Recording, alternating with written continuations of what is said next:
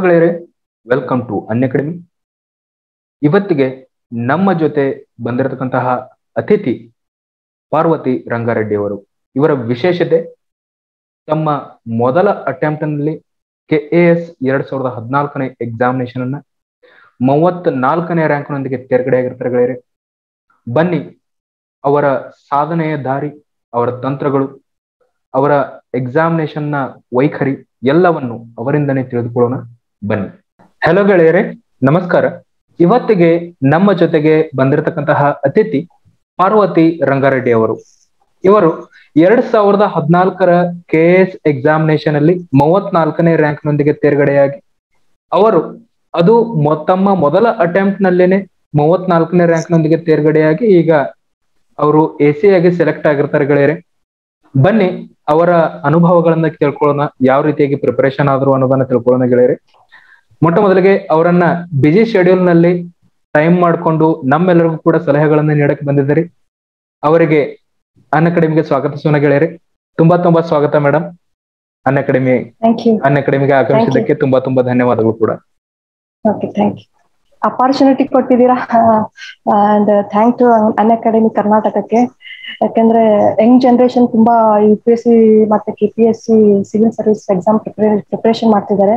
ಅವ್ರಿಗೆ ಒಂದು ನನ್ನ ಕಡೆಯಿಂದ ಮತ್ತೆ ಒಂದು ಮೈ ಸೆಲ್ಫ್ ಎಕ್ಸ್ಪೀರಿಯನ್ಸ್ ಶೇರ್ ಮಾಡೋಕೆ ಇದು ಒಂದು stage ಮಾಡ್ಕೊಟ್ಟಿದ್ದೀರಿ and thanks to thanks to Unacademy thank you very much madam ನಿಮಗೂ ಕೂಡ ಮೊಟ್ಟ ಮೊದಲಿಗೆ ತಮ್ಮ ಹುಟ್ಟೂರು ಸ್ಥಳ, ಬಾಲ್ಯ ಮತ್ತು ಹಿನ್ನೆಲೆಯ ಬಗ್ಗೆ ಸ್ವಲ್ಪ ಪರಿಚಯವನ್ನು ನೀಡ್ತಾರೆ ಮೇಡಮ್ ನಾನು actually presently I am working in Kalaburagi as a chief administrative officer in GIMS GIMS ಅಂದ್ರೆ Gulbarga institute of medical science ಅಲ್ಲಿ ಚೀಫ್ ಅಡ್ಮಿನಿಸ್ಟ್ರೇಟಿವ್ ಆಫೀಸರ್ ಮುಖ್ಯ ಆಡಳಿತಾಧಿಕಾರಿ ಅಂತ ವರ್ಕ್ ಮಾಡ್ತಿದ್ದೀನಿ. ನಾನು ಬೇಸಿಕಲಿ ನನ್ನ ನೇಟಿವ್ ಬಂದ್ಬಿಟ್ಟು ಬೀದರ್ ಡಿಸ್ಟಿಕ್ ಬೀದರ್ ಡಿಸ್ಟಿಕ್ ಬೀದರ್ ತಾಲೂಕಾ ಒಂದು ಔರಾ ಸಿರ್ಸಿ ಗ್ರಾಮದಿಂದ ಬಂದಿದ್ದೀನಿ. ನಂದು ಕಂಪ್ಲೀಟ್ ಸ್ಕೂಲ್ ಎಜುಕೇಶನ್ ಕಂಪ್ಲೀಟ್ ಊರಲ್ಲೇ ಆಗಿದೆ. ಅಂಡ್ ನಂತರ I shifted to Bidar. Bidar ಅಲ್ಲಿ ನಾನು P U and as well as degree pursue ಮಾಡಿದೆ. ನಂತರ ಡೆಲ್ಲಿಗೆ ಹೋಗಿ ಸಿವಿಲ್ ಸರ್ವಿಸಸ್ ಏನ್ ಕೋಚಿಂಗ್ ಇದೆ ಅದು ನಾನು ಕಂಪ್ಲೀಟ್ ಮಾಡಿಕೊಂಡು ಹಾಗೆ ಐ ಎ ಎಸ್ ಪ್ರಿಲಿಮಿನರಿ ಬರ್ದಿದ್ದೆ ಟೂ ತೌಸಂಡ್ ಥರ್ಟೀನ್ ಅಲ್ಲಿ. ಬಟ್ ಅದನ್ನ ನಾನು ಪ್ರಿಲಿಮ್ಸ್ ಹಂತದಲ್ಲಿ ಕ್ವಾಲಿಫೈ ಮಾಡಕ್ ಆಗಿರ್ಲಿಲ್ಲ. ಮೇನ್ ವೈಲ್ ಏನಾಗಿತ್ತು ನಮ್ದು ಕೆ ಪಿ ಎಸ್ ಸಿ ಅವರು gazetted probationer examination as a gazetted probationer two thousand fourteen notification call ಆಗಿತ್ತು. ನಾನು ಅದಕ್ಕೆ ಅಪ್ಲೈ ಮಾಡಿಬಿಟ್ಟು ಟೂ ತೌಸಂಡ್ ಫೋರ್ಟೀನ್ ಅಲ್ಲಿ ಅಪ್ಲೈ ಮಾಡಿ ಫಿಫ್ಟೀನ್ ಅಲ್ಲಿ ನಮಗೆ prelims as well as mains conduct ಮಾಡಿದ್ರು. ನಾನು prelims as well as mains ಅಲ್ಲಿ ಕ್ವಾಲಿಫೈ ಆಗಿ ನಂತರ ಟೂ ತೌಸಂಡ್ ಸಿಕ್ಸ್ಟೀನ್ ಅಲ್ಲಿ ನಮಗೆ ಇಂಟರ್ವ್ಯೂ ಕಂಡಕ್ಟ್ ಮಾಡಿದ್ರು. ಅಂಡ್ ನಂತರ ಸೆವೆಂಟೀನ್ ಅಲ್ಲಿ we have selected as a. K S A C revenue ಆಗಿ ಸೆಲೆಕ್ಟ್ ಆಗಿದ್ದೀನಿ. ವೆರಿ ನೈಸ್ ಮೇಡಮ್ ನಿಮಗೆ ಈ ಒಂದು ಸ್ಪರ್ಧಾತ್ಮಕ ಪರೀಕ್ಷೆಯ ಒಂದು ಫೀಲ್ಡ್ಗೆ ಬರೋಕೆ ಮೊಟ್ಟ ಮೊದಲಿಗೆ ಪ್ರೇರೇಪಣೆ ಯಾರಾದ್ರು ಮೇಡಮ್ ನಿಮ್ಮ ಜೀವನದಲ್ಲಿ? ನಾನು ಹೈಸ್ಕೂಲ್ ಇದ್ದಾಗೆ ನಮ್ಗೆ ಸ್ವಲ್ಪ ಈ ವಿಜಯಲಕ್ಷ್ಮಿ ಬಿದ್ರಿ ಅವರು ಫಸ್ಟ್ ರ್ಯಾಂಕ್ ಬಂದಿದ್ರು. ಅವಾಗ ನಮ್ದು ಮನೆಯಲ್ಲಿ parents as well as my siblings ಏನ್ ಬ್ರದರ್ಸ್ ಇದಾರೆ ಅವ್ರು ಮಾತಾಡ್ತಿದ್ರು. ಕರ್ನಾಟಕದಲ್ಲಿ ಅದು ಐ ಎ ಎಸ್ ಅಲ್ಲಿ ಫಸ್ಟ್ ರ್ಯಾಂಕ್ ಬಂದಿದ್ದಾರೆ. ಹೇಗೆ ಹೆಮ್ಮೆಯಿಂದ ಅವಾಗೆಲ್ಲ ಮೀಡಿಯಾದಲ್ಲೆಲ್ಲ ಬರ್ತಿತ್ತು ನ್ಯೂಸ್ ಪೇಪರ್ ಅಲ್ಲಿ ಓದಿದ್ದೆ. ಅದು ಒಂದ್ ಕಡೆ ಮೋಟಿವೇಶನ್ ಆಗಿತ್ತು. ಹಾಗಾಗಿ ಮತ್ತೆ ಪಿ ಯು ಅಲ್ಲಿ ಏನಾಗಿತ್ತು, ನಮ್ಗೆ ಹರ್ಷಗುಪ್ತಾ ಅಂಡ್ ಸಮೀರ್ ಶುಕ್ಲಾ ಸರ್ ಮತ್ತೆ ನಮ್ದು P C Jafar sir I S officers ನಮ್ ಡಿಸ್ಟಿಕ್ ಅಲ್ಲಿ ಆಸ್ ಅ ಡೆಪ್ಟಿ ಕಮಿಷನರ್ ಅಂತ ವರ್ಕ್ ಮಾಡಿದ್ರು.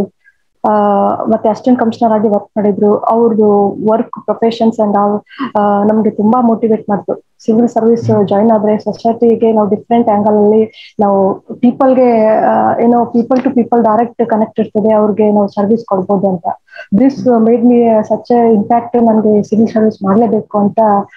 ತಮ್ಮ ಪ್ರಿಲಿಮ್ಸ್ ಎಕ್ಸಾಮಿನೇಷನ್ಗೆ ನೀವು ಅಪ್ಲೈ ಮಾಡಿದ್ರಿ ಅಂತ ಹೇಳ್ತಾ ಇದ್ರಿ. ಮೊದಲು ಐ ಎ ಎಸ್ ಪರೀಕ್ಷೆಗೂ ಕೂಡ ತಾವು ಅಟೆಂಪ್ಟ್ ಮಾಡಿದಿರಿ ತಮ್ಮ ಪರೀಕ್ಷಾ ಸಿದ್ಧತೆಯ ಜರ್ನಿ ಯಾವ ರೀತಿಯಾಗಿತ್ತು ಮೇಡಮ್ ಮುಖ್ಯವಾಗಿ ಹೇಳ್ಬೇಕಂತಂದ್ರೆ ಯಾವ ಯಾವ ಚಾಲೆಂಜಸ್ ಗಳನ್ನ ತಾವು ಎದುರಿಸಿದ್ರಿ? ಆಕ್ಚುಲಿ ನಮ್ಗೆ ಅಪ್ ಟು ಟೆಂತ್ ವರ್ಗು ನಮ್ದು ಕನ್ನಡ ಮೀಡಿಯಮದಲ್ಲಿ ವರ್ನಕ್ಯುಲರ್ ಲ್ಯಾಂಗ್ವೇಜ್ ಅಲ್ಲಿ ಓದಿದ್ದೆ. ಅಂಡ್ ಪಿ ಯು ನಲ್ಲಿ ನಮ್ದು ಆರ್ಟ್ಸ್ ಆಗಿರೋದ್ರಿಂದ ಆವಾಗಲೇ ಸ್ವಲ್ಪ history and pol science political science related public administration related some touch ಬಂದಿತ್ತು. ಆವಾಗಲೇ ಸಬ್ಜೆಕ್ಟ್ ರಿಲೇಟೆಡ್ ಬೇಸಿಕ್ ಬಗ್ಗೆ ಗೊತ್ತಾಗಿತ್ತು. ಪಾಲ್ ಸೈನ್ಸ್ ಅಲ್ಲಂತೂ ನಮಗೆ ಸಪ್ರೇಟ್ ನಾಗರಿಕ ಸೇವಾ ಪರೀಕ್ಷೆಗಳು ಅಂತಾನೆ ಒಂದು ಚಾಪ್ಟರ್ ಇರ್ತಿತ್ತು. ಅದರಲ್ಲಿ ಹೇಗೆ ಕರ್ನಾಟಕದಲ್ಲಿ ಯಾವ ರೀತಿ ಸ್ಟೇಟ್ ಲೆವೆಲ್ ಸರ್ವಿಸಸ್ ಇರ್ತದೆ ಆಲ್ ಇಂಡಿಯಾ ಸರ್ವಿಸಸ್ ಇರ್ತದೆ ಮತ್ತೆ group A group B services ಇರ್ತವೆ ಅಂತ ಅದ್ರ ಬಗ್ಗೆ ಮಾಹಿತಿ ಗೊತ್ತಾಗಿತ್ತು. ಆವಾಗ್ಲೇ ನನ್ಗೆ ಒಂದು ಒಂದು ಬೇಸಿಕ್ ಐಡಿಯಾ ಗೊತ್ತಾದಾಗ ನಾನು ಡೆಲ್ಲಿಗೆ ಹೋದಾಗ ಅಲ್ಲಿ ಕೋಚಿಂಗ್ ಸೆಂಟರ್ಸ್ ಎಲ್ಲ ಕೊಟ್ಟಿರ್ತಾರೆ. ಬೇಸಿಕ್ ಹೇಗೆ ಓದ್ಬೇಕು ನಾವು, ಏನ್ ಓದ್ಬೇಕು, ಏನ್ ಓದ್ಬಾರ್ದು ಅಂತ.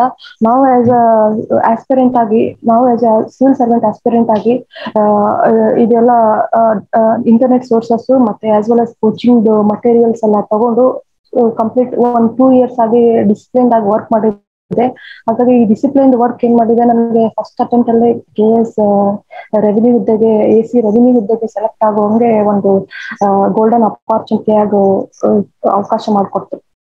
ವೆರಿ ನೈಸ್ ಮೇಡಮ್ ತಾವು ಮೊದಲ ಅಟೆಂಪ್ಟ್ ನಲ್ಲೇ ತಾವು ಕ್ರ್ಯಾಕ್ ಮಾಡೋಕೆ ಏನಾದ್ರೂ ತಂತ್ರಗಳನ್ನ ಟ್ರಿಕ್ ಗಳನ್ನ ಉಪಯೋಗ ಮಾಡಿದ್ರೆ ಮೇಡಮ್ ಅದನ್ನ ನಮ್ಮ ಸ್ಟೂಡೆಂಟ್ ಗಳೊಂದಿಗೆ ಹಂಚ್ಕೋಬಹುದಾ ಫಸ್ಟ್ ಅಟೆಂಪ್ಟ್ ಅಲ್ಲಿ ಹೇಗೆ ಮಾಡಿದೆ ಅಂದ್ರೆ ನಾನು ಯು ಪಿ ಎಸ್ ಸಿಗೆ ಮಾಡಿದೆ. ಯು ಪಿ ಎಸ್ ಸಿ ಏನಾಗಿತ್ತು ಅಂದ್ರೆ ಸೇಮ್ ಸಿಲೆಬಸ್ ಬಂದಿತ್ತು ಅವಾಗ್ಲೇ. ಹೇಗೆ ಪ್ರಿಲಿಮಿನರಿ ಮತ್ತೆ G S and as well as C SAT ಇರ್ತದೆ ಕೆ ಎಸ್ ಕೂಡ ಹಾಗೆ. ಪ್ರಿಲಿಮಿನರಿಯಲ್ಲಿ G S second paper Karnataka related current affairs as well as economic survey Karnataka economic survey economic related aptitude related questions ಇರ್ತಿತ್ತು. Prelims ನಮಗೆ ಯಾವುದೇ ರೀತಿ ಅಷ್ಟು ಕಷ್ಟ ಆಗಿರ್ಲಿಲ್ಲ. ಯಾಕೆ U P S C preparation ಮಾಡಿರೋದ್ರಿಂದ ನಮಗೆ ಕೆ ಎಸ್ ಪ್ರಿಲಿಮ್ಸ್ ಕಷ್ಟ ಆಗಿರ್ಲಿಲ್ಲ. ಮೇನ್ಸ್ ಅಲ್ಲಿ ನಮಗೆ ಆಪ್ಷನ್ ಇರ್ತಿತ್ತು. Rural development and cooperation subject ಆಗಿ ನಾನು ಆಪ್ಷನ್ ತಗೊಂಡಿದ್ದೆ. But U P S C ಅಲ್ಲಿ ಅದು ಆಪ್ಷನಲ್ ಇರ್ಲಿಲ್ಲ. ಯು ಪಿ ಎಸ್ ಸಿ ಅಲ್ಲಿ I took as a public administration ನಾನು ಆಪ್ಷನಲ್ ಆಗಿ ತಗೊಂಡಿದ್ದೆ. ಕೆ ಎಸ್ ಬಂದಾಗ ನಂಗೆ ರೂರಲ್ ಡೆವಲಪ್ಮೆಂಟ್ ಸ್ವಲ್ಪ ಸುಲಭ ಅನಿಸ್ತದೆ. ಅದು ಸ್ವಲ್ಪ ಗ್ರಾಮೀಣ ಪ್ರದೇಶದಿಂದ ಬಂದಿರೋದ್ರಿಂದ ಅಲ್ಲಿ ಪಂಚಾಯತ್ ರಾಜ್ ರಿಲೇಟೆಡ್ ಡೆವಲಪ್ಮೆಂಟ್ ಮತ್ತೆ ರೂರಲ್ ಡೆವಲಪ್ಮೆಂಟ್ ಸ್ಕೀಮ್ಸ್ಗಳು ಸ್ಟೇಟ್ ಮತ್ತು ಸೆಂಟ್ರಲ್ ಪ್ರಾಜೆಕ್ಟ್ಸ್ಗಳು ಗೊತ್ತಿತ್ತು. ಈ ಇದು ಅಧ್ಯಯನ ಮಾಡಕ್ಕೆ ನಂಗೆ ಈಸಿ ಆಗ್ತದೆ ಅಂತ ನಾನು ರೂರಲ್ ಡೆವಲಪ್ಮೆಂಟ್ ಆಪ್ಷನಲ್ ಆಗಿ ತಗೊಂಡಿದ್ದೆ. ಅದಕ್ಕೆ ಏನ್ ಮಾಡಿದೆ ಜಿ ಎಸ್ ಕೆ ಮತ್ತೆ ಆಪ್ಷನಲ್ಗೆ ನಾನು ಪ್ರೀವಿಯಸ್ ಇಯರ್ ಕ್ವಶನ್ ಪೇಪರ್ ಗಳನ್ನ ನೋಡ್ಕೊಂಡಿದ್ದೆ. ಚೆನ್ನಾಗಿ ಯಾವ ರೀತಿ ಕ್ವಶನ್ಗಳು ಯಾವ ರೀತಿ ಕ್ವಶನ್ಸ್ಗಳು ಕೇಳ್ತಾರೆ ಕೆ ಪಿ ಎಸ್ ಸಿ ಅವರು. ಮತ್ತೆ the depth of the questions ಮತ್ತೆ ಹೇಗೆ ಕರೆಂಟ್ ಅಫೇರ್ಸ್ ನಮ್ಗೆ ಕ್ವಶನ್ ರಿಲೇಟೆಡ್ ಆಗಿ ಕೇಳ್ತಾರೆ. ಅಥ ಈ ರೀತಿ ನಾನು ಲಿಮಿಟೆಡ್ ಸೋರ್ಸ್ ಅನ್ನ ಸುಮಾರು ಸಾರಿ ಓದ್ಬಿಟ್ಟು ರಿವೈಸ್ ಮಾಡೋದ್ರಲ್ಲಿ ನಾನು ಜಾಸ್ತಿ ಫೋಕಸ್ ಮಾಡ್ತಿದ್ದೆ. ಮತ್ತೆ ಪ್ರೀವಿಯಸ್ ಇಯರ್ ಕ್ವಶನ್ ಪೇಪರ್ ಅನ್ನ ತುಂಬಾ ಅನಲೈಸ್ ಮಾಡಿ ಟೆಸ್ಟ್ ಸೀರೀಸ್ ಅನ್ನು ಜಾಯಿನ್ ಮಾಡಿದ್ದೆ ನಾನು. ಯೂನಿವರ್ಸಿಟಿ ಕೋಚಿಂಗ್ ಸೆಂಟರ್ ಅಲ್ಲಿ ಅವಾಗ ಅದು ಫೋರ್ಟೀನ್ ಫಿಫ್ಟೀನ್ ಅಲ್ಲಿ ನಾನು ಯೂನಿವರ್ಸಿಟಿ ಕೋಚಿಂಗ್ ಸೆಂಟರ್ ಅಲ್ಲಿ ಟೆಸ್ಟ್ ಸೀರೀಸ್ ಅನ್ನ ಬರೆದಿದ್ದೆ. ಈ model test series mark test series ಬರೆಯೋದ್ರಿಂದ ನಮಗೆ ಸ್ಪೀಡಿಂಗ್ ಸ್ಪೀಡ್ ಇನ್ಕ್ರೀಸ್ ಆಗ್ತದೆ. ಮತ್ತೆ ನಾವು ಎಲ್ಲಿ ವೀಕ್ ಆಗಿದ್ದೀವಿ ಯಾವ ಟಾಪಿಕ್ ಯಾವ ಸಿಲೆಬಸ್ ಅಲ್ಲಿ ಯಾವ ಟಾಪಿಕ್ ಅಲ್ಲಿ ನಾವು ವೀಕ್ ಇದ್ದೀವಿ ಅಂತ ನಾವು ಅದನ್ನ ಇಂಪ್ರೂವ್ ಮಾಡ್ಕೊಳಕ್ಕೆ ಈ ಟೆಸ್ಟ್ ಸೀರೀಸ್ ಮತ್ತೆ ಅದರಲ್ಲಿ ನಾವು ಸ್ಕೋರ್ ಮಾಡುವಂತದ್ದು ಹೆಲ್ಪ್ ಆಗ್ತದೆ. ಓಕೆ ಮೇಡಮ್ ಒಟ್ಟಿನಲ್ಲಿ ಅನಾಲಿಸಿಸ್ ರಿವಿಷನ್ ಮತ್ತು ಪ್ರಾಕ್ಟೀಸ್ ಈ ಮೂರು ಮಂತ್ರಗಳನ್ನ ತಾವು ಮಾಡಿದಿರಿ ಅಂತ ಅಂದಂಗಾಯ್ತು. ನೆಕ್ಸ್ಟ್ ತಾವು ಪ್ರಿಲಿಮ್ಸ್ ಎಕ್ಸಾಮಿನೇಷನ್ಗೆ ಸ್ಪೆಸಿಫಿಕಲಿ ಹೇಳ್ಬೇಕಂತಂದ್ರೆ ಯಾವ ರೀತಿಯಾಗಿ ಈಗ ಎರಡನೇ ಪೇಪರ್ ಅಲ್ಲಿ ಟೋಟಲಿ ಕರ್ನಾಟಕ ರಿಲೇಟೆಡ್ ಬರ್ತದ? ಅದಕ್ಕೆ ಸ್ಪೆಸಿಫಿಕಲಿ ಏನನ್ನ ತಾವು ರೆಫರ್ ಮಾಡಿದ್ರಿ? ಯಾವ ರೀತಿಯಾಗಿ ತಾವು ಓದ್ಕೊಂಡ್ರಿ madam examination prelims examination paper K prelims paper two ನಲ್ಲಿ ಪ್ರಿಲಿಮ್ಸ್ ಅಲ್ಲಿ ಕರ್ನಾಟಕ ಎಕನಾಮಿಕ್ ಸರ್ವೆಯನ್ನ ಓದ್ಬೇಕಾಗಿತ್ತು. ಅದನ್ನ ತುಂಬಾ ಕ್ವಶನ್ಸ್ ಡೈರೆಕ್ಟ್ ಆಗಿ ಬಂದಿದ್ವು. ಎಕ್ಸಾಂಪಲ್ ಹೇಳ್ಬೇಕಾದ್ರೆ ಯಾವ ತಳಿ ಈ ಬ್ರೀಡ್ ಅಂತಾರಲ್ಲ ಆಕಳ ತಳಿ ಯಾವ ತಳಿ ಇತ್ತು ಅಂತ ಅದು ಕ್ವಶನ್ ಕೇಳಿದ್ರು ಅದು ಡೈರೆಕ್ಟ್ ಎಕನಾಮಿಕ್ ಸರ್ವೆ ಇಂತ ಅಗ್ರಿಕಲ್ಚರ್ ಚಾಪ್ಟರ್ ಅಲ್ಲೇ ಇದೆ. ಎಷ್ಟು ತಳಿಗಳಿದಾವೆ ಕರ್ನಾಟಕದಲ್ಲಿ ಯಾವ ತಳಿಯನ್ನ ಪೋಷಣೆ ಇದೆ ಯಾವ ತಳಿಗಳು ಜಾಸ್ತಿ ಬೆಳಿತಾ ಇದಾರೆ ಅಗ್ರಿಕಲ್ಚರ್ ಅಂಡ್ ಅದ್ರ ರಿಲೇಟೆಡ್ ಸೆಕ್ಟರ್ಸ್ ಅಲ್ಲಿ ಇದೆ. Economic survey service economic survey survey of ಕರ್ನಾಟಕದಿಂದ ಸುಮಾರು ಡೈರೆಕ್ಟ್ ಕ್ವಶನ್ಸ್ ಇಪ್ಪತ್ತರಿಂದ ಇಪ್ಪತ್ತೈದು ಕ್ವಶನ್ಸ್ ಬರ್ತಿತ್ತು. ಅದು ಪ್ರಿಲಿಮ್ಸ್ ಆಸ್ ವೆಲ್ ಆಸ್ ಮೇನ್ಸ್ಗೆ ನಮ್ಗೆ ತುಂಬಾ ಹೆಲ್ಪ್ ಆಗ್ ಸ್ಕೋರಿಂಗ್ ಇರೋದ್ರಿಂದ ನಾನು ಅದನ್ನ ಸಪರೇಟ್ ಚಾಪ್ಟರ್ಸ್ ಆಗಿ ಓದಿ ಶಾರ್ಟ್ ಡೌನ್ ಶಾರ್ಟ್ ನೋಟ್ಸ್ ಆಗಿ ಪ್ರಿಪೇರ್ ಮಾಡ್ಕೊಂಡಿದ್ದೆ ಅದನ್ನೇ ರಿವೈಸ್ ಮಾಡಿದ್ದೆ ನಾನು ಜಾಸ್ತಿ. ಆಸ್ ವೆಲ್ ಆಸ್ ನಮ್ ಕರ್ನಾಟಕ ಬಜೆಟ್ ಕೂಡ ನಾನು ಓದ್ಕೊಂಡು ಹೋಗಿದ್ದೆ. ಆ ವರ್ಷದ್ದು Karnataka budget survey Karnataka budget ಏನು ನಮ್ದು ಫೈನಾನ್ಸ್ ಡಿಪಾರ್ಟ್ಮೆಂಟ್ ಏನು ರಿಲೀಸ್ ಮಾಡ್ತಿದೆ ಅದು ಮೇನ್ ಕಾಪಿನೇ ನಾನು ಸುಮಾರು ಥೌಸಂಡ್ ಪ್ಲಸ್ ಪೇಜಸ್ ಇರ್ತದೆ. ಬಟ್ ಇಂಪಾರ್ಟೆಂಟ್ ಚಾಪ್ಟರ್ಸ್ ಏನಿರ್ತದೆ ಸ್ಕೀಮ್ಸ್ ಹೊಸದಾಗಿ ಸ್ಕೀಮ್ಸ್ ಯಾವ ಡಿಕ್ಲೇರ್ ಮಾಡಿದೆ ನಮ್ಮ ಕರ್ನಾಟಕ ಗೌರ್ಮೆಂಟ್ ಅದರ್ ರಿಲೇಟೆಡ್ ಜಾಸ್ತಿ ಫೋಕಸ್ ಮಾಡಿದ್ದೆ. ಮತ್ತೆ. ಪ್ರೋಗ್ರಾಮ್ಸ್ ಮತ್ತೆ ಪಂಚಾಯತ್ ರಾಜ್ ಡೆವಲಪ್ಮೆಂಟ್ಗೆ ಎಷ್ಟು ಫೋಕಸ್ ಮಾಡಿದೆ ಅಗ್ರಿಕಲ್ಚರ್ ರಿಲೇಟೆಡ್ ಎಷ್ಟು ಟಾರ್ಗೆಟ್ ಇಟ್ಟಿದೆ ಇರಿಗೇಷನ್ಗೆ ಹೇಗೆ ಇದು ಮಾಡಿದೆ ರೂರಲ್ ಅಂಡ್ ಡ್ರಿಂಕಿಂಗ್ ವಾಟರ್ ಹೇಗೆ ಫೋಕಸ್ ಮಾಡಿದೆ ಮತ್ತೆ ಎಷ್ಟು ಅಲೋಕೇಟ್ ಮಾಡಿದೆ. ಇದ್ರ ಬಗ್ಗೆ ಜಾಸ್ತಿ ಫೋಕಸ್ ಮಾಡಿ ನಾನು ಸಪರೇಟ್ ಆದ ಸ್ವಂತ ನೋಟ್ಸ್ ಗಳನ್ನ ಮಾಡ್ಕೊಂಡಿಟ್ಟಿದ್ದೆ ಎಕ್ಸಾಮ್ ಅಲ್ಲಿ ಆ ಶಾರ್ಟ್ ನೋಟ್ಸ್ ನಂಗೆ ಮತ್ತೆ ಕೆಲವೊಂದು ಇಂಪಾರ್ಟೆಂಟ್ ಕೀವರ್ಡ್ಸ್ ಅನ್ನ ನಮ್ಗೆ ರಿವೈಸ್ ಮಾಡಕ್ಕೆ ಮತ್ತೆ ಪ್ರಿಲಿಮ್ಸ್ ಎಲ್ಲ ಅಟೆಂಡ್ ಮಾಡಕ್ಕೆ ಸೆಕೆಂಡ್ ಪೇಪರ್ಗೆ ನಂಗೆ ಸ್ಕೋರಿಂಗ್ ಆಗಿದೆ. ಅಂದ್ರೆ ಶಾರ್ಟ್ ನೋಟ್ಗಳು ತಮಗೆ ತುಂಬಾನೇ ಹೆಲ್ಪ್ ಮಾಡಿದೆ ಅನ್ನೋದು ಮೇಡಮ್ ವೆರಿ ನೈಸ್ ಮೇಡಮ್ ನಂತರ ಮುಖ್ಯ ಪರೀಕ್ಷೆಯಲ್ಲಿ ಬಂದ್ರೆ ಅದಕ್ಕೆ ಯಾವ ರೀತಿಯಾಗಿ ತಾವು ಪ್ರಿಪರೇಷನ್ ಅನ್ನ ಸ್ಟಾರ್ಟ್ ಮಾಡ್ಕೊಂಡ್ರಿ ಮೇಡಮ್ ನಾನು ಪ್ರಿಲಿಮ್ಸ್ ಮುಕ್ತ ಮುಗ್ದ ತಕ್ಷಣ ನಾನು ಯಾವುದೇ ಬ್ರೇಕ್ ಅಂತ ತಗೊಂಡಿರ್ಲಿಲ್ಲ. ಯಾಕೆಂದ್ರೆ ನನಗೆ ಕಾನ್ಫಿಡೆನ್ಸ್ ಇತ್ತು ಒಂದು ಲೆವೆಲ್ಗೆ ನಾವು ಏನು ಕೀ ಆನ್ಸರ್ಸ್ ಅನ್ನ ಚೆಕ್ ಮಾಡಿದ ತಕ್ಷಣ ನಮ್ಗೆ ಗೊತ್ತಾಗಿತ್ತು I am going to clear the case prelims ನಾನು ಒಂದು ಕ್ಷಣ ವೇಸ್ಟ್ ಮಾಡ್ತೇನೆ. ನಾನು ಮೇನ್ಸ್ಗೆ ಓದ್ಬೇಕಂತ ನನಗೆ ನಾನು ಪ್ರಿಲಿಮ್ ಮುಗ್ದ ತಕ್ಷಣ ನಾನು ಆಪ್ಷನಲ್ಗೆ ಸ್ವಲ್ಪ ಗಮನ ಕೊಟ್ಟಿದ್ದೆ. ಯಾಕೆಂದ್ರೆ ಆಪ್ಷನಲ್ ಆಪ್ಷನಲ್ಗೆ ನಮ್ಗೆ ಎರಡು ಪೇಪರ್ ಇರ್ತದೆ ಪೇಪರ್ ಒನ್ ಪೇಪರ್ ಟು ಎರಡು ಸೇರಿಸಿ ಸುಮಾರು ಒಂದು ಫೈವ್ ಹಂಡ್ರೆಡ್ ಮಾರ್ಕ್ಸ್ ಇರ್ತದೆ. ಹಾಗಾಗಿ ನಾನು ಆಪ್ಷನಲ್ ರಿವೈಸ್ ಮಾಡ್ಕೊಂಡೆ. ಮತ್ತೆ ಸೋರ್ಸಸ್ ಅನ್ನ ಸ್ವಲ್ಪ ಡೀಪ್ ಆಗಿ ಓದ್ಬಿಟ್ಟಿದೆ. ಮತ್ತೆ ಅವಾಗ್ಲೇ ಮೀನ್ಸ್ ಟೆಸ್ಟ್ ಸಿರೀಸ್ ಅನ್ನ ಜಾಯಿನ್ ಆಗಿದೆ ಆಪ್ಷನಲ್ ಸುಮಾರು ಒಂದು ಇಪ್ಪತ್ತರಿಂದ ಇಪ್ಪತ್ತೈದು ಆಪ್ಷನಲ್ ಟೆಸ್ಟ್ ಅನ್ನ ಬರೆದಿದ್ದೆ ನಾನು. ಅಂಡ್. ಜಿ ಎಸ್ ಅಲ್ಲಿ ಎಥಿಕ್ಸ್ ಪೇಪರ್ ನಮ್ಗೆ ಸ್ವಲ್ಪ ಆ, ನಮ್ಗೆ ಚೆನ್ನಾಗಿ ಸ್ಕೋರ್ ಆಗುತ್ತೆ. ಎಥಿಕ್ಸ್ ಅಲ್ಲಿ ನಮ್ಗೆ ಸ್ವಲ್ಪ ಥಿಂಕರ್ಸ್ ಫಿಲಾಸಫರ್ಸ್ ಏನಿರ್ತಾರೆ ಇರ್ತಾರೆ ಅವ್ರ ಬಗ್ಗೆ ಸ್ವಲ್ಪ ಸ್ಟಡಿ ಮಾಡಿದೆ ಇದೆಲ್ಲ ಓವರ್ ಆಲ್ ಆಗಿ ನಾವು ಪ್ರಿವಿಯಸ್ ಇಯರ್ ಹೇಗೆ ಕೇಳಿದ್ರು ಯು ಪಿ ಎಸ್ ಅಲ್ಲಿ ಹೇಗೆ ಕೇಳಿದ್ರು ನಮ್ದು ಜಿ ಎಸ್ ನಾಲ್ಕು ಪೇಪರ್ ಅದನ್ನ ಸ್ವಲ್ಪ ಅನಲೈಸ್ ಮಾಡಿ ನನ್ನ ಸ್ವಂತ ಅಧ್ಯಯನ ನಾನು ಮಾಡಿದೆ. ಮಾರ್ಕ್ ಸೀರೀಸ್ ತುಂಬಾ ಹೆಲ್ಪ್ ಆಯ್ತು. ಎಕ್ಸಾಮ್ ಅಲ್ಲಿ ಯಾಕಂದ್ರೆ we have to sit for three hours and write it to fifty ಮಾರ್ಕ್ಸ್ಗೆ ಬರಬೇಕಾದ್ರೆ ಇಟ್ಸ್ ಡಿಫಿಕಲ್ಟ್. ಹಾಗಾಗಿ ಟೆಸ್ಟ್ ಸೀರೀಸ್ ಬರೆಯೋದ್ರಿಂದ ನಮ್ಗೆ ಸ್ವಲ್ಪ hand improving handwriting improve ಆಗ್ತದೆ. ಅದು ಸ್ಕೋರ್ ಮಾಡಕ್ಕೆ ತುಂಬಾ ಚೆನ್ನಾಗ್ ಆಗ್ತದೆ.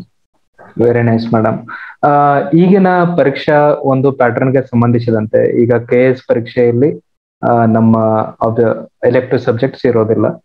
ಆದ ಕಾರಣವಾಗಿ ಜಿ ಎಸ್ ನಾಲ್ಕು ಪೇಪರ್ಗಳು ಮತ್ತು ಎಸ್ ಎ ಪೇಪರ್ಗಳಲ್ಲಿ ಈ ಐದು ಪೇಪರ್ಗಳಲ್ಲಿ ತಮಗೆ ಅತ್ಯಂತ ಹೆಚ್ಚು ಮಾರ್ಕ್ಸ್ ಅನ್ನ ತಂದುಕೊಟ್ಟಂತಹ ಪೇಪರ್ ಯಾವುದು ಮೇಡಮ್ ನಮ್ಗೆ G S one history geography related ಸ್ವಲ್ಪ ತುಂಬಾ two ಫಿಫ್ಟಿಗೆ some around one sixty plus ಏನೋ ನನ್ ಸ್ಕೋರ್ ಆಗಿತ್ತು.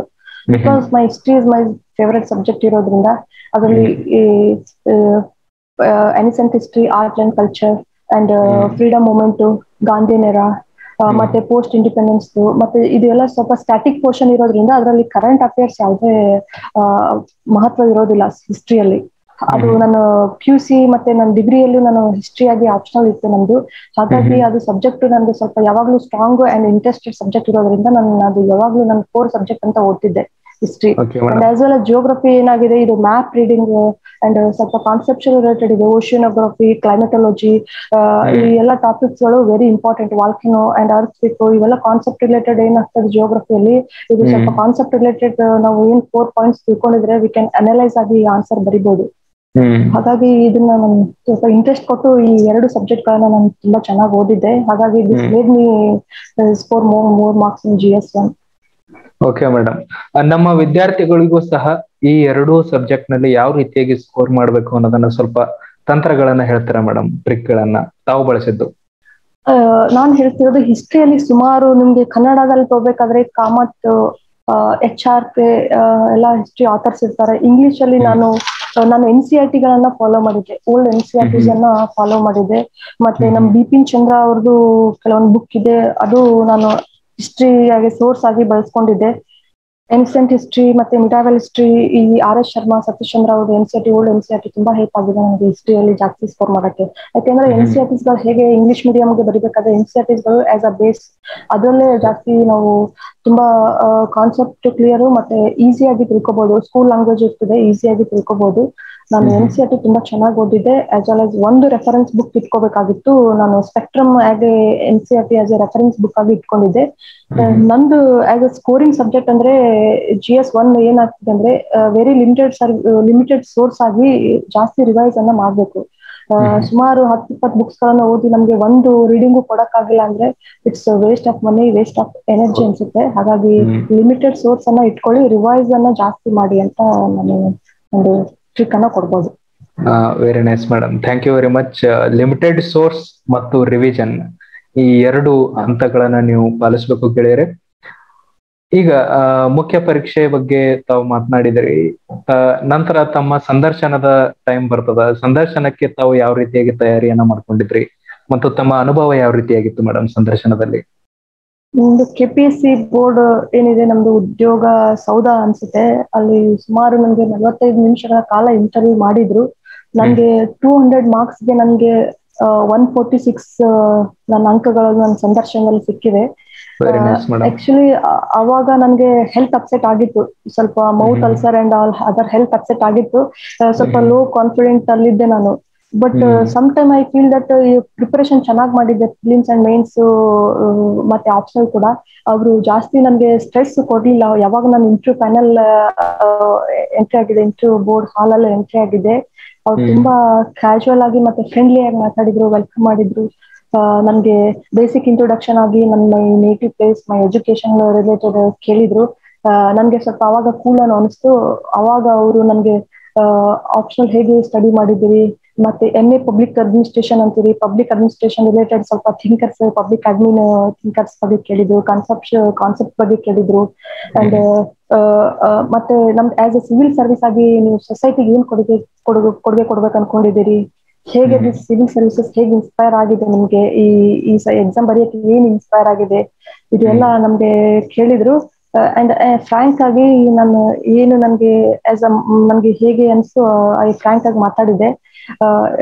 ದಿಸ್ ಮೇಲ್ ನಾನು ಸ್ಪೆಷಲ್ ಆಗಿ ಯಾವುದೇ ಮಾಕ್ ಇಂಟರ್ವ್ಯೂ ನನಗೆ ಅಟೆಂಡ್ ಆಗಕ್ ಆಗಿರ್ಲಿಲ್ಲ ಅವಾಗ ಬಿಕಾಸ್ ನಾನು ಹೆಲ್ತ್ ಅಪ್ಸೆಟ್ ಇರೋದ್ರಿಂದ. ನಾನು ಕ್ಯಾಶುವಲ್ ಆಗಿ ಸೆಲ್ಫ್ ಪ್ರಿಪರೇಷನ್ ಮಾಡ್ಕೊಂಡು ಹೋಗಿದ್ದೆ. ಹಾಗಾಗಿ ನನಗೆ two hundred out of one forty six ಏನೋ ಕೊಟ್ಟಿದ್ರು.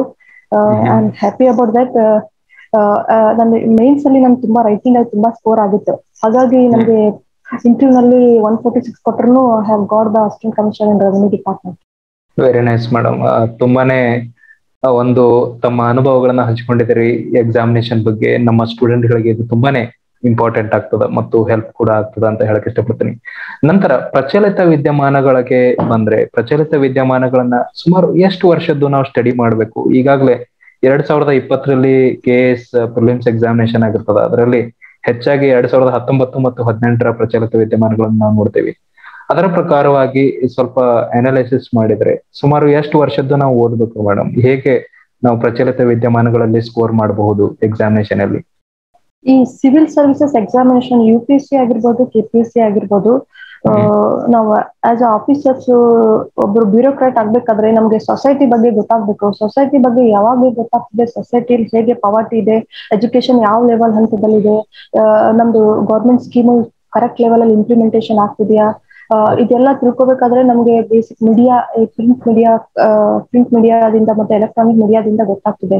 ಹಾಗಾಗಿ ಆಸ್ ಆಸ್ಪಿರೆಂಟ್ ಆಗಿ ನಾವು ಪ್ರತಿನಿತ್ಯ ಈ ಪ್ರಿಂಟ್ ಮೀಡಿಯಾ ಅಟ್ಲೀಸ್ಟ್ ಎರಡು ಒಂದರಿಂದ ಎರಡನ್ನ ನಾವು ದಿನಪತ್ರಿಕೆಗಳನ್ನ ಓದೋ ಅಭ್ಯಾಸವನ್ನ ಮಾಡ್ಕೋಬೇಕಾಗ್ತದೆ. ಸುಮಾರು ನನ್ಗೆ ಅನ್ಕೊಂಡಿದ್ದಾಗೆ ಹನ್ನೆರಡರಿಂದ ಹದಿನೈದು ತಿಂಗಳ ಮಿನಿಮಮ್ ಅಂತೂ ಓದ್ಬೇಕು. ಅಟ್ಲೀಸ್ಟ್ ಟೂ ಇಯರ್ಸ್ ಇಂದ ನಾವು ನ್ಯೂಸ್ ಪೇಪರ್ ಓದ್ತಾ ಬಂದಾಗ ನಮ್ಗೆ ಈ ಮೇನ್ಸ್ ಮತ್ತೆ ಇಂಟರ್ವ್ಯೂ ಅಲ್ಲಿ ತುಂಬಾ ಹೆಲ್ಪ್ ಆಗ್ತದೆ. ಇವೆಲ್ಲ ಪಾಯಿಂಟ್ಸ್ಗಳು ಏನಾಗ್ತಿದೆ? ಆಲ್ಮೋಸ್ಟ್ ಈ polity and geography ಜಿಯೋಗ್ರಫಿಯಲ್ಲಿ map related complete current basis ಮೇಲೆ ಕೇಳ್ತಾರೆ. ಯಾವ್ದು ಫ್ಲೋರಾ ಅಂಡ್ ಫೌನಾ ಯಾವ ಸ್ಪೀಸೀಸ್ ಎಂಡೇಂಜರ್ಡ್ ಸ್ಪೀಸೀಸ್ ಇದೆ ಕ್ರಿಟಿಕಲ್ ಎಂಡೇಂಜರ್ಡ್ ಸ್ಪೀಸೀಸ್ ಇದೆ U P S C as well as K P S C ಎಲ್ಲ ಕರೆಂಟ್ ರಿಲೇಟೆಡ್ ಕೇಳಿರ್ತಾರೆ. ಮತ್ತೆ ಎಕನಾಮಿಕ್ ರಿಲೇಟೆಡ್ ಕಂಪ್ಲೀಟ್ ಕರೆಂಟ್ ಹೇಗೆ ಬಜೆಟ್ ಪ್ರೈಸಿಸ್ ಇದೆ ಕೆಲವೊಂದು ಕಾನ್ಸೆಪ್ಟ್ಸ್ ಗಳನ್ನ ಕರೆಂಟ್ ರಿಲೇಟೆಡ್ ಎಕಾನಮಿಕ್ ಇಂದಾನೆ ಕೇಳಿರ್ತಾರೆ. ಪಾಲಿಟಿ ಕೂಡ ಹಾಗೇನೆ. ಪಾಲಿಟಿ ಕೂಡ ಆಂಟಿ ಡಿಫೆಕ್ಷನ್ ಲಾ ಪಕ್ಷಾಂತರ ಆಗ್ತಿದೆ ಕರ್ನಾಟಕದಲ್ಲಿ ಸಮ್ ಮಹಾರಾಷ್ಟ್ರ ಎಲ್ಲ ಸಮ್ ಯಾವ್ದೋ ಒಂದು ಇದೆ ಅಂದ್ರೆ ಅದ್ರ ರಿಲೇಟೆಡ್ ಕೇಳ್ತಾರೆ. ಹಾಗಾಗಿ ಸ್ಟಾಟಿಕ್ ಪೋರ್ಷನ್ ಅನ್ನೋದು ಸ್ವಲ್ಪ ಕಡಿಮೆ ಸ್ಟಾಟಿಕ್ ಕ್ವಶನ್ಸ್ ಕೇಳೋದು ಕಡಿಮೆ ಆಗಿದೆ. ಕರೆಂಟ್ ರಿಲೇಟೆಡ್ ಕ್ವಶನ್ಸ್ ಕೇಳೋದ್ರಿಂದ ಈ ಕರೆಂಟ್ ಅಫೇರ್ಸ್ ಪ್ರಚಲಿತ ದಿನನಿತ್ಯ ಏನಾಗ್ತಿದೆ ಸೊಸೈಟಿಯಲ್ಲಿ ಅಂತ ನಾವು ಕರೆಂಟ್ ನ್ಯೂಸ್ ಪೇಪರ್ ಯಾವಾಗ್ಲೂ ಟಚ್ ಅಲ್ಲಿ ಇಟ್ಕೋಬೇಕು ಓದ್ತಾ ಇರ್ಬೇಕು ಅಂಡ್ ಒಂದ್ ಅಟ್ಲೀಸ್ಟ್ ಒಂದ್ ಮಂತ್ಲಿ ಅದನ್ನ ಫಾಲೋ ಮಾಡ್ಬೇಕು. ಇರೋದ್ರಿಂದ ನಮ್ಗೆ ಈ ಸಿವಿಲ್ ಸರ್ವಿಸ್ ಅನ್ನೋದು ಈಸಿ ಆಗ್ಬೋದು. ಒಂದ್ ಫಸ್ಟ್ ಅಟೆಂಪ್ಟ್ ಅಲ್ಲೇ ಕ್ಲಿಯರ್ ಮಾಡಕ್ಕೆ the current affairs fifty percent help ಆಗ್ತದೆ ಅಂತ ಹೇಳ್ಬೋದು ನಾನು. ವೆರಿ ನೈಸ್ ಮೇಡಮ್ ಒಟ್ಟು ತಮ್ಮ ಈ ಇಷ್ಟು ವರ್ಷಗಳ ಕಾಂಪಿಟೇಟಿವ್ ಜರ್ನಿ ಇರ್ತದ ಸ್ಟಡಿ ಮಾಡಿರ್ತೀರಿ ಎಕ್ಸಾಮಿನೇಷನ್ ಅನ್ನ ಮೊದಲ ಅಟೆಂಪ್ಟ್ನಲ್ಲಿ ಮೂವತ್ನಾಲ್ಕನೇ ರ್ಯಾಂಕ್ ನೊಂದಿಗೆ ಕರೆಕ್ಟ್ ಮಾಡಿರ್ತೀರಿ. ಈ ಎಲ್ಲ ತಮ್ಮ ಒಂದು ಅನುಭವಗಳಿಂದ ಪಡೆದಂತಹ ಒಂದು ಅನುಭವದ ಮಾತನ್ನ, ಒಂದು ಸಲಹೆಯನ್ನ ನಮ್ಮ ಸ್ಟೂಡೆಂಟ್ ಗಳಿಗೆ ನೀಡ್ಬೇಕಂದ್ರೆ ಏನ್ ಹೇಳಕ್ ಇಷ್ಟಪಡ್ತೀರಿ ಮೇಡಮ್ ತಾವು? ನಾನು ಆಸ್ ಅ ಆಸ್ಪಿರೆಂಟ್ ಆಗ್ಲಿ ಯಾವಾಗ್ಲೂ ಫೋಕಸ್ಡ್ ಆಗಿ ಇರ್ಬೇಕಂತ ಹೇಳ್ತಿದ್ದೆ. ನಾನು always I was focused K P S C ಬಗ್ಗೆ ಸುಮಾರು ಬೇರೆ ಬೇರೆ ನೆಗೆಟಿವ್ ಆಗಿ ಹೇಳ್ತಾ ಇದ್ರು. ಸಮ್ ಮಾಲ್ ಫಂಕ್ಷನ್ ಆಗ್ತಿರ್ತದೆ. ಕರೆಕ್ಟ್ ರಿಕ್ರೂಟ್ಮೆಂಟ್ ಆಗಲ್ಲ ಅಂತ. ಬಟ್ ಐ ಆಲ್ವೇಸ್ ಫೋಕಸ್ಡ್ ನನ್ಗೆ ಒಂದು ಪೋಸ್ಟ್ ಬೇಕಾಗಿದೆ. ಅಟ್ಲೀಸ್ಟ್ ಅಸಿಸ್ಟೆಂಟ್ ಕಮಿಷನರ್ ಆಗಿರ್ಬೋದು ತಹಶೀಲ್ದಾರ್ ಆಗಿರ್ಬೋದು ಅಥವಾ ಕಮರ್ಷಿಯಲ್ ಟ್ಯಾಕ್ಸ್ ಆಗಿರ್ಬೋದು ಡಿ ಎಸ್ ಪಿ ಸುಮಾರು ಪೋಸ್ಟ್ ಇದಾವೆ ಮತ್ತೆ ಆಲ್ಮೋಸ್ಟ್ ಫೋರ್ ಹಂಡ್ರೆಡ್ ಪ್ಲಸ್ ಯಾವಾಗ್ಲೂ ಕರೆಯೋದು ಫೋರ್ ಹಂಡ್ರೆಡ್ ಪ್ಲಸ್ ಜಾಸ್ತಿನೇ ಪೋಸ್ಟ್ಗಳು ಕರೀತಾರೆ. ನಾವು ಯಾವಾಗ್ಲೂ ಪಾಸಿಟಿವ್ ಆಗಿ ಥಿಂಕ್ ಮಾಡ್ಬಿಟ್ಟು ಫೋಕಸ್ಡ್ ಆಗಿರಿ ಮತ್ತೆ ಡಿಸಿಪ್ಲೈನ್ ಸ್ಟಡಿ ಬೇಕು. ಸುಮಾರು ಟೂ ಇಯರ್ಸ್ ವರೆಗೂ ನಮ್ಮ ಮೋಟಿವೇಶನ್ ಮೋಟಿವೇಶನ್ ಯಾವಾಗ್ಲೂ ಹೈ ಇಟ್ಕೋಬೇಕು. ತುಂಬಾ ಡಿಸ್ಟ್ರಾಕ್ಷನ್ಸ್ ಇದೆ ಈಗಿನ ಕಾಲದಲ್ಲಿ. ಈ mobile and media as well as some ಸೊಸೈಟಿಯಿಂದ relatives ಇಂದ ತುಂಬಾ ಡಿಸ್ಟ್ರಾಕ್ಷನ್ಸ್ ಬರ್ತದೆ. ಬಟ್ ನಮ್ ಟೂ ಇಯರ್ಸ್ ವರೆಗೂ ನಮ್ದು ಯಾವಾಗ್ಲೂ ಮೋಟಿವೇಶನ್ ಅಂಡ್ ಫೋಕಸ್ಡ್ ಆಗಿ ಹಾರ್ಡ್ ವರ್ಕ್ ಮಾಡಿದ್ರೆ ಡೆಫಿನೆಟ್ಲಿ ಫಸ್ಟ್ ಅಟೆಂಪ್ಟ್ ಅಲ್ಲಿ ನಾವು ಯಾವುದೇ civil service U P S C or K S K P S C exams ಗಳನ್ನ ಕ್ಲಿಯರ್ ಮಾಡಬಹುದು ಅಂತ ನಾನು ಹೇಳಕ್ ಇಷ್ಟಪಡ್ತೀನಿ. ವೆರಿ ನೈಸ್ ಮೇಡಮ್ ಈಗಲೂ ತಾವು ಈ ಒಂದು ಕೋವಿಡ್ನ ಪ್ಯಾಂಡಮಿಕ್ ಇರುವಾಗಲೂ ಕೂಡ ವರ್ಕ್ ಮಾಡ್ತಾ ಇರ್ತೀರಿ. ತಮ್ಮ ಬಿಜಿ ಶೆಡ್ಯೂಲ್ ನಲ್ಲೂ ಈ ಕೋವಿಡ್ ವರ್ಕ್ ನಲ್ಲೂ ಕೂಡ ತಮ್ಮನ್ನ ಒಂದು ಸ್ವಲ್ಪ ಸಮಯವನ್ನ ಮಾಡಿಕೊಂಡು ನಮ್ಮ ಎಲ್ಲಾ ಸ್ಟೂಡೆಂಟ್ ಗಳಿಗೆ ತಮ್ಮ ಸಲಹೆಗಳನ್ನ ನೀಡಿ ಒಂದು ಸಹಾಯವನ್ನ ಮಾಡ್ತಾ ಇದ್ರಿ madam thank you very much ಅನ್ ಅಕಾಡೆಮಿಗೆ ಆಗಮಿಸಿದ್ದಕ್ಕೆ. ತುಂಬಾ ತುಂಬಾ ಧನ್ಯವಾದಗಳು ನಮ್ಮ ಸ್ಟೂಡೆಂಟ್ ಗಳಿಗೆ ತುಂಬಾನೇ ಹೆಲ್ಪ್ ಆಯ್ತು ತಾವು ಬಂದಿದ್ದು. Thank you